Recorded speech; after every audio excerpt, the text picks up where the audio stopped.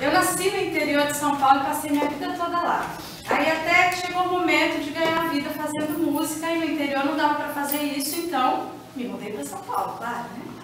E quando eu cheguei lá estava acontecendo uma coisa mágica, era virada cultural. Isso para artista é um paraíso, né? E aí a gente chegou lá, eu e meu companheiro, e ficamos ali no centro de São Paulo, ali no Vale do Anhangabaú, tava rolando um palco de música instrumental, uma música que eu muito, então a gente viu Flávio Purinho, um monte de gente lá, e aquilo me marcou muito. Mas aí a gente ficou primeiro dia, no segundo dia eu notei uma coisa muito curiosa. É... São Paulo não tem banheiro suficiente. Porque todo mundo tomando cerveja e ouvindo som, e depois de um tempo todo mundo passa a fazer xixi onde dá, né, gente? E aí o cheiro era uma coisa realmente impressionante. E eu fui para casa assim determinada a fazer uma música para aquele momento, né?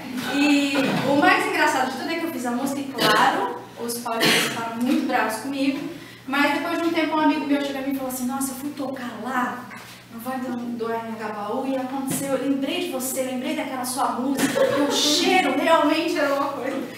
E eu vou cantar pra vocês agora essa E o cheiro do mijo.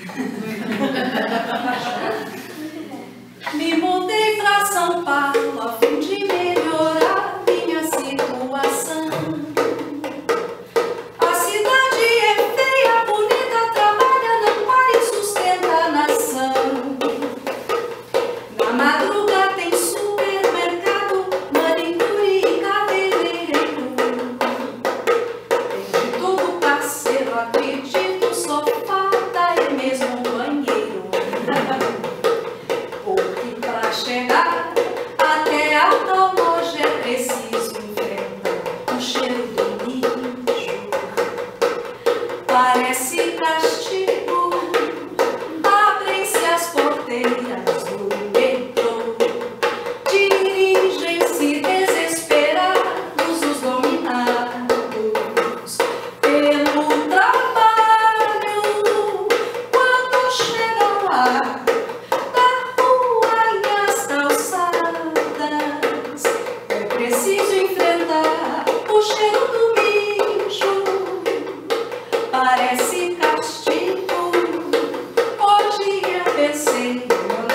daí